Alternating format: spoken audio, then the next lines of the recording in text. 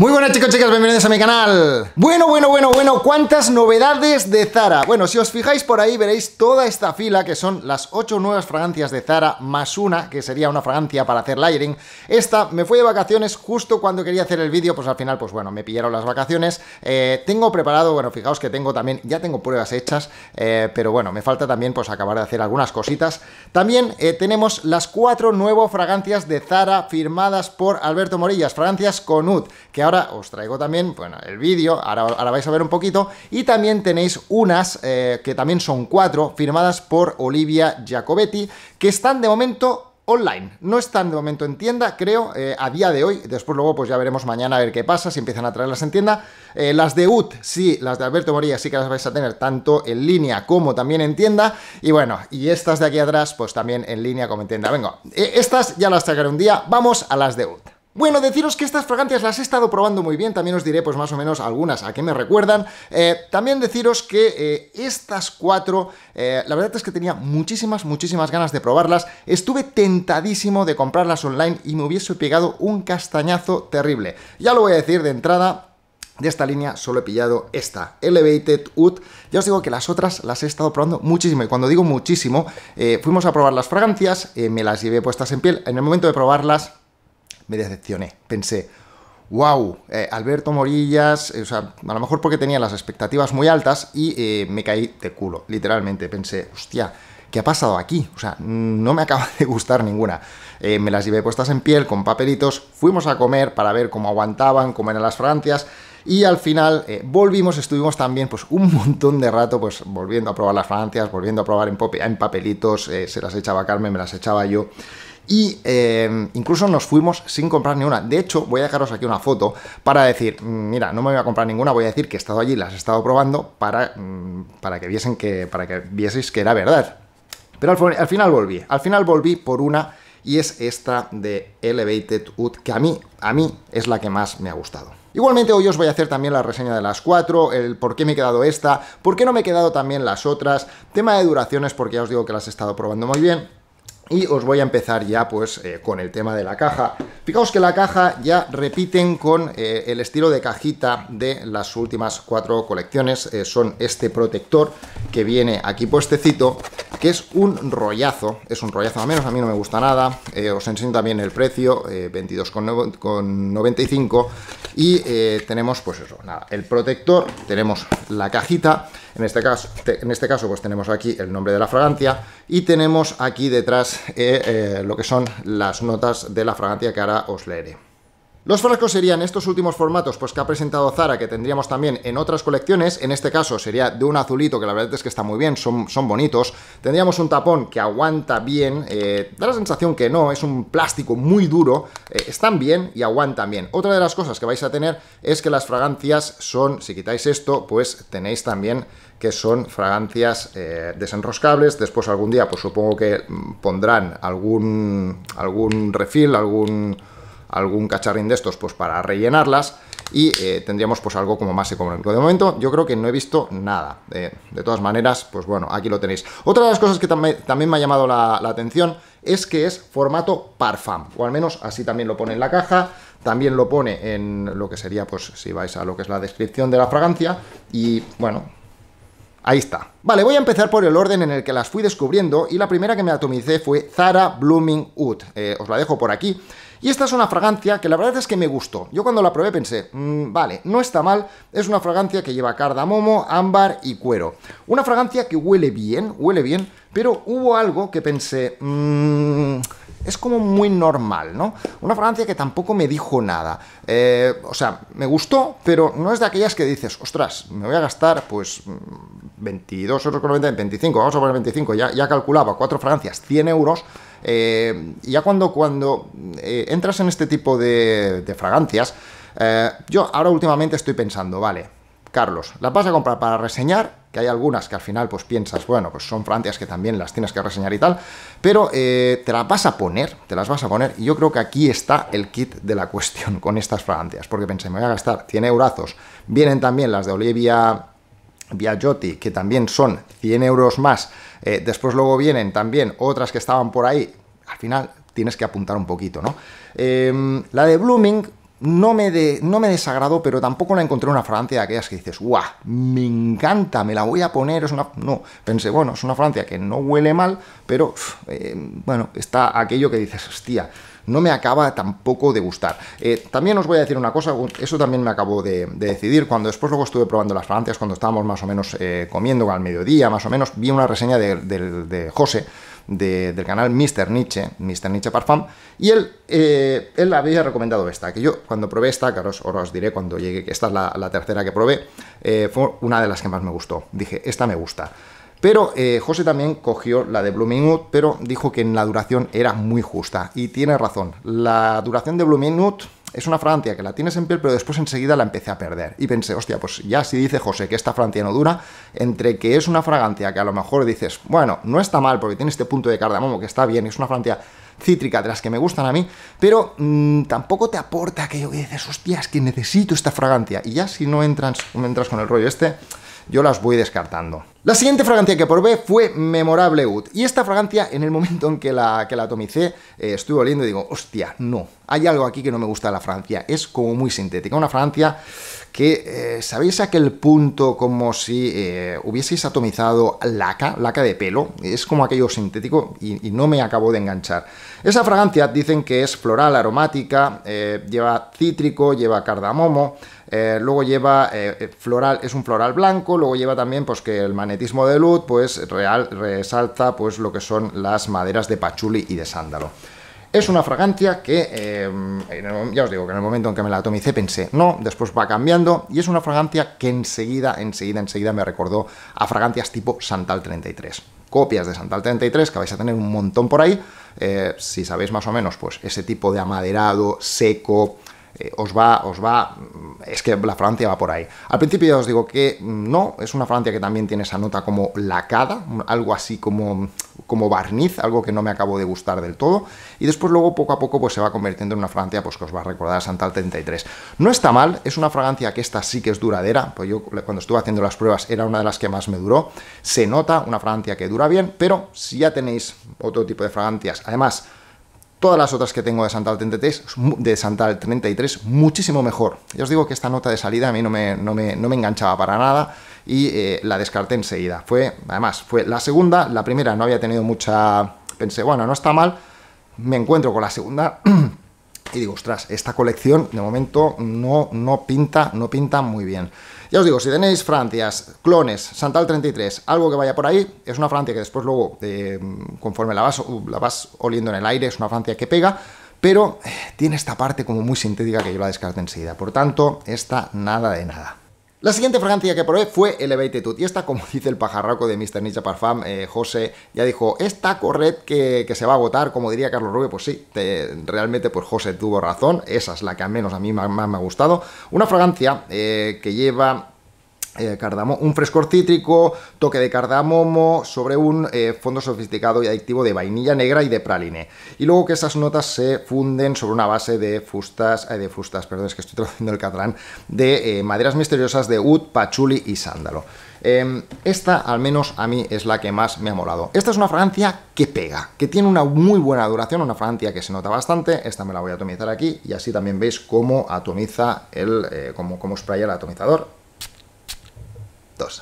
Mm, y aquí sí tiene este punto adictivo. Esta es una fragancia eh, que, claro, tiene la parte esta cítrica, viene también la parte fresca marcada por el cardamomo. Em, tiene un puntito después luego dulce que viene por la vainilla y también vais a tener por la parte esta el praliné. Una fragancia también eh, con un dulce, pero que tampoco es empalagosa. Os lo va a marcar, pero no va a ser empalagoso. Y luego lo que son las bases de las maderas, que tiene también la parte del sándalo, que es, mm, es una fragancia que también tiene os, da esa parte de cremosidad que, que da el sándalo y es adictiva, es una fragancia adictiva. Eh, no se parecen, no se parecen, pero si os gustan fragancias, por ejemplo, y os voy a enseñar esta de esta que no va a ser la misma, pero eh, vamos a tener la de Nashid de la Tafa, que es una fragancia donde la vainilla, en este caso es una vainilla especiada, pero sí que vamos a tener también un cítrico. O sea, estoy hablando de fragancias Cítricas, eh, que os vienen también con una base eh, avainillada, os, vienen también, pues en este caso sería especiada, eh, Nashid, esta fragancia es la que equivale a Ani de, de Nishane. Em, son fragancias que tienen estas combinaciones entre cítrico, de vainillas, maderas, eh, en algún caso, pues os digo, esta en este caso, Ani o esta de Nashid, especiadas, em, no se parecen, pero os digo que tienen esa combinación de fragancias que os pueden recordar. Otra fragancia que también a mí me, viene a la cabeza sería, por ejemplo, esta de Zara Ruigi, una fragancia que también he recomendado muchísimo, una fragancia que tiene una parte cítrica muy marcada y después luego en este caso os viene con un puntito de iris, que sería la parte esta como un poquito más amaderada.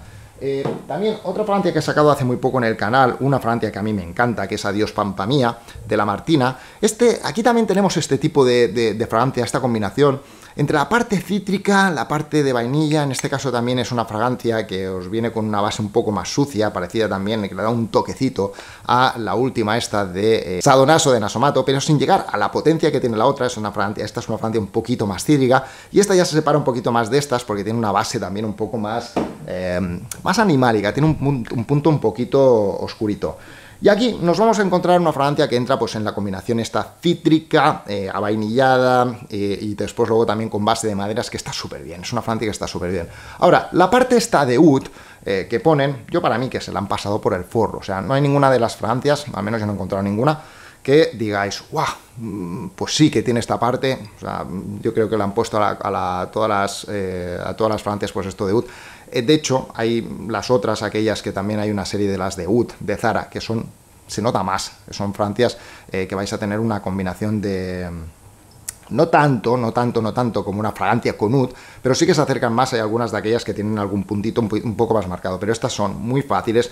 Eh, son fragancias que son bastante unisex, o sea, chicas, pues las podéis utilizar tranquilamente, pero tranquilamente, pero de aquí a Lima y eh, son, son francias fáciles. Vamos a la última, porque la última es una Francia que a mí mm, me, ha sorprendido. Fue de aquellas que pensé, hostia, no sé qué hacer con esta Francia, ahora os explico. Y es un poco de aquellas, creo que es Virtus. Virtus Ut. Ya os la digo. Vale, sí, el nombre es Virtus Ut y vamos a tener eh, un carácter carnal y adictivo de un Ut blanco. Vale. Eh, pone que es íntima, que es irresistible, una caricia amaderada sobre la piel entre la luz y la sombra. Un perfume de Alberto Morillas. Y ahora vais un poco, nos vamos un poco a lo que serían las notas. Nos dice que es amaderada y también que sería floral. Eh, despierta todos los sentidos y dice que es un frescor acuático y espumeante del calone. Lleva limón, lleva bergamota, sobre un fondo de flores sedosas con facetas aromáticas de lavanda. Un viaje al magnetismo de luz, a la intensidad del ambroxan y de la pureza del almizcle blanco sobre una base de vetiver, sándalo y pachuli. Em, yo, es una fragancia que la primera vez que me la atomicé pensé, no me suena, o sea, no me suena, no me huele mucho esta fragancia. Eh, cuando la llevaba puesta, parecía como que se perdía. Digo, bueno, almizcle blanco, nos vamos a fragancias así un poco más eh, cítrica, pero como muy... Todo este tipo de fragancias, ya cuando nos hablan esta de, si equivale a la piel, si son sedosas y tal y cual, almizcles blancos generalmente son fragancias, y aquí en este, en este caso que también decían ud blanco, no sé... Em, pensaba, bueno, fragancia de estas que son muy, muy, muy ligeritas. Pero ¿qué pasa? Es una fragancia, lleva calone, lleva después luego lo que son los cítricos. Eh, en el momento yo de atomizarme la fragancia, primero la probé en papel secante, después luego la probé en piel. En papel secante era una fragancia que era un cítrico así como muy, muy, muy suavito, una fragancia que daba un puntito, un puntito, eh, olor raro, vamos a poner, vamos a poner olor raro como un olor entre marino, em, con un punto así eh, almizclado. Pero en piel, por ejemplo, es una fragancia que a mí enseguida no me sentó nada bien. Son de aquellas fragancias que cuando hueles dices, hostia, esto me olía, y lo voy a decir directamente tal cual, mm, lo siento Alberto Morillas, pero eh, me olía pues a sepia, me olía a pescado, ¿sabéis aquello que dices, hostia, esto huele un poco raro, ¿no? Eh, la probé con Carmen también, porque digo, bueno, a lo mejor es mi piel, a veces pasa, no todas las pieles son iguales, a veces queda algo raro, y también pasaba lo mismo, o sea, le olía, es como que no estaba como bien balanceada la fragancia. Es curioso porque es una fragancia que después luego, conforme van pasando las horas, va quedando una parte cítrica, no queda esta parte tan sucia, eh, pero eh, el sucio, ya, os digo, eh, no es un sucio amaderado, es un sucio más, ah, más marino. Y en este caso ya os digo que recuerda más a como si fuese pues, un olor como algo de pescado. Es algo, mm, ya os digo, a sepia, una cosa rara. O sea, después luego queda como adictivo, vais oliendo y dices, hostia, esta, esta Francia no la acabo de pillar el truco. estuve, estuve tentadísimo, estuve tentadísimo al final de comprarla porque era una Francia que quería tratar más, mm, probarla más para ver qué tal. Pero pensé, a ver, has tenido esta impresión. Carmen tuvo la misma impresión. En piel es una fragancia que yo pensaba, Carlos, ¿te la vas a poner realmente? Sí, hace mucha gracia decir, ah, mira, huele como a pescado, como... O sea, esto es como experiencia olfativa, pero la vas a llevar. Yo esa fragancia no me la pondría. O sea, me pondría Blue Minute, me pondría la de Memorable Wood, aunque tiene esta parte más sintética. Esta fragancia es la que pensé, oye, me tengo que comprar una Elevated Wood. Esta fragancia huele genial, ¿eh? Huele muy bien, es una fragancia que se disfruta mucho, además tiene una duración que está increíble. O sea, es una fragancia que está muy bien, ¿eh? Muy bien. Eh, Virtus Wood yo no me la pondría. O sea, no me la pondría de verdad. Yo no me atomizaría esto porque en el momento en que paséis por algún lado de alguien, es como que da esa sensación rara, de perfume raro. Incluso la estuve probando en ropa porque pensé, bueno, a lo mejor es el contacto con la piel y pasa eso. No acabo de, de, pillarla por ningún lado. No solo yo, ¿eh? ya os digo que Carmen hizo lo mismo también cuando lo olió. Dice, hostia, esto huele como a pescado, es una, es una sensación rara. Eh, a mí me encantan las fragancias marinas, me encantan ese tipo de fragancia, pero, hostia, en este caso, pues es una fragancia que para nada. Carlos, ¿para qué usarías el Tude? Pues fijaos, esta es una fragancia que también yo la encuentro súper versátil. Como tiene esta parte cítrica, vainillada, después luego con base de maderas, la podéis utilizar para todo, pero para todo. Es una fragancia que la podéis utilizar para el trabajo perfectamente, fragancia para citas, huele muy bien, una fragancia que después tiene este puntito así como un poquito misterioso si queréis, porque como ya le da un toque diferente pues a lo que vais a estar oliendo por ahí, pues eh, a mí me ha gustado, es una fragancia que me ha gustado, tiene muy buena duración, es una fragancia que la podéis utilizar pues para, la noche, fragancia de citas si queréis, mm, si salís por la noche pues en una fragancia de estas de eh, discoteca, bares, lo que sea, también la podéis utilizar, es una fragancia que es muy agradable. Una Francia que además se nota, o sea, se nota, y cuando digo que se nota, yo esta mañana que me he puesto una camiseta que iba recogiendo porque llevaba, pues habíamos venido ya de vacaciones y tenía una camiseta, en el momento de coger la camiseta es como, ¡guau! Aquí llevaba la de eh, Tut. Esta es una fragancia, ya os digo, que pega, pega. Y si os la, la ponéis en ropa, si yo al cabo de 12 horas, que después luego ha sido cuando ya he cogido la ropa, eh, la para ponerla en la lavadora, la he notado pero fuerte, eh, esto, si lo lleváis, es una Francia que todo el mundo va a notar. No es aquello que vais a decir, bueno, las Francia de Zara no duran. Probad esta, probad esta y ya me diréis, y si no os dura, echadla en la ropa y os va a durar la vida. Pues muy bien chicos, chicas, queda pendiente también toda la línea esta que os la tengo que traer, eh, son francias que están bien, al menos a mí me han gustado, eh, quedan pendientes también las otras cuatro eh, de esta nueva colección, a ver si las traen en tienda, yo últimamente ya me estoy desencantando de comprar online porque a veces te encuentras con cada pifia que dices, uff, me he gastado 100 eurazos en algo que después luego pues no puedes aprovechar o no las vas a utilizar tanto, entonces me da mucha rabia. Estoy descubriendo pues muchos perfumes por ahí que sí que valen la pena, y en este caso pues mira, me acabo de ahorrar con estas, por ejemplo, 75 euros. Y nada, me dejéis en los comentarios si las habéis probado, qué os parecen, que así la gente os lee y también pues tienen otras opiniones, ¿vale? Y nada, si os ha gustado el vídeo, por favor suscribiros para darle apoyo al canal, dadme un like, activad la campanita para recibir las notificaciones de los vídeos y nos vemos en la próxima reseña.